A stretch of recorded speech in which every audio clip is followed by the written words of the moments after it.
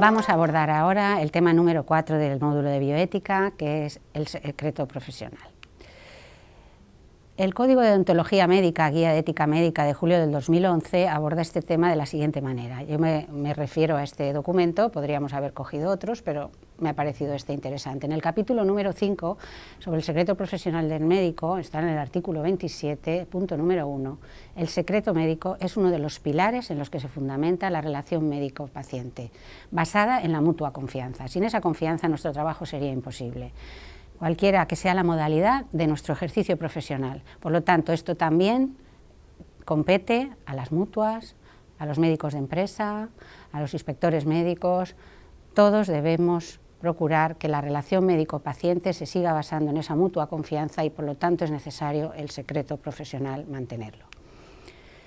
El secreto profesional además comporta que el médico para el médico la obligación de mantener la reserva y la confidencialidad, esta palabra es muy importante, de todo aquello que el paciente le haya revelado y confiado. Lo que haya visto y deducido como consecuencia de su trabajo, aunque no se lo haya contado el propio paciente, y que tenga relación con la salud y la intimidad del paciente, incluyendo el contenido de toda la historia clínica. El capítulo este quinto, también el artículo 27, menciona que el hecho de ser médico no autoriza a conocer información confidencial de un paciente con el que no se tenga relación profesional. Es decir, yo no puedo consultar la historia clínica de un compañero de trabajo, de un vecino, de mi madre, sin su consentimiento. Es decir, nosotros tenemos derecho a o obligación de consultar la historia clínica de un paciente siempre que él lo requiera para su atención, para su cura o cuidado. Y aquí en nuestro sistema informático, en la Comunidad Valenciana, tenemos una serie de salvaguardas. Por ejemplo, si nosotros ponemos los datos de un paciente que queremos ver su historia clínica, nos dice si es con presencia o sin presencia del paciente. Y tú tienes que decir si es sin presencia del paciente, te saldrá esto que os pongo aquí, que es pulse aceptar, si el motivo por el cual usted pretende acceder a los datos personales de la historia clínica con deber de secreto, sin presencia del paciente, es para revisar y o editar su información clínica por ser responsable de su asistencia sanitaria. El sistema conservará el registro de los profesionales y de las modalidades para, las cuales acceden. Entonces tiene que contestar sí, si contesta que no, entonces es que usted no debe de entrar en esa historia clínica, no debe consultar esos datos de ese paciente. ¿eh? Por lo tanto, es muy importante que tengamos en cuenta que sin presencia del paciente tenemos que acceder a la historia porque es un paciente que somos responsables de sus cuidados, por ejemplo, lo hemos mandado al hospital, queremos saber cómo, cómo está, eh, o hacer un informe para inspección o cualquier otra cosa que requiera, o preocuparnos de ese paciente que hace días que no vemos. ¿eh?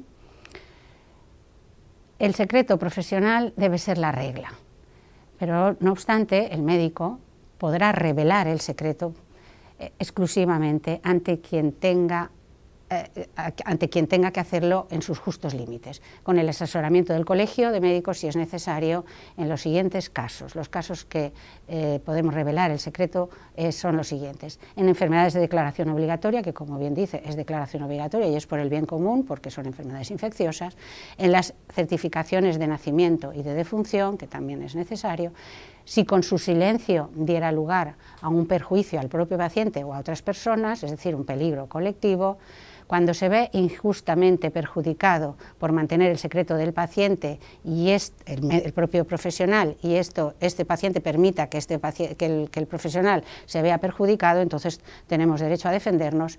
En caso de malos tratos, especialmente niños, ancianos, discapacitados psíquicos o actos de agresión sexual, cuando sea llamado por el colegio de médicos a testificar en materia disciplinaria, y aunque el paciente lo autorice, el médico procurará siempre mantener el secreto por la importancia que tiene la confianza de la sociedad en la confidencialidad profesional, por imperativo legal. Si nos llaman a un juicio como testigos, como peritos, también tendremos que revelar el secreto.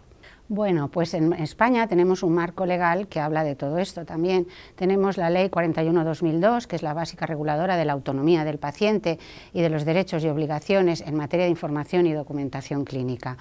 En el artículo 2 hay unos principios básicos que son la dignidad de las personas, de la persona humana, el respeto a la autonomía de su voluntad y a su intimidad, orientarán toda la actividad encaminada a obtener, utilizar, archivar, custodiar y transmitir la información y la documentación clínica.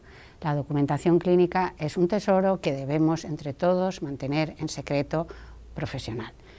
Los pacientes o usuarios tienen el deber de facilitar los datos sobre su estado físico o sobre su salud de manera leal y verdadera, así como el de colaborar en su obtención, especialmente cuando sean necesarios por razones de interés público o con motivo de la asistencia sanitaria. Todos tenemos también una responsabilidad, incluso los pacientes, para que el sistema funcione lo mejor posible.